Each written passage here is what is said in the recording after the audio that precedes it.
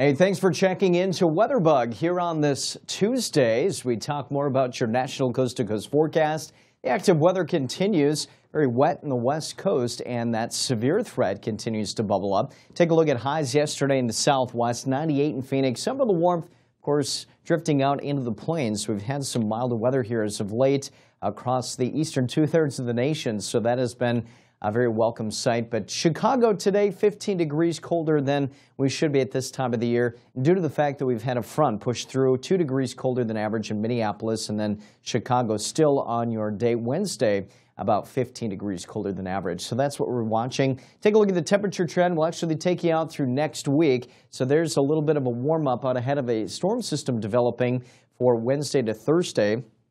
We actually see a little bit of warming down to the south, but notice this little area of low pressure by weekend, the weekend and into early next week. Notice how much blue we see by next week. And the 6 to 10 day temperature outlook from NOAA's Climate Prediction Center says once again that the Midwest and the eastern two thirds by late next week or next week will be cooler than average. So we're tracking one front across the eastern two thirds of the nation now. The midsection sunny and a little bit cooler, but here is that very wet west coast and our severe threat on Tuesday looks pretty minimal, just some general thunderstorms. But as one of those pieces of energy from the west begins to slide out into the plains tomorrow, a slight risk of severe weather from Omaha down into West Texas.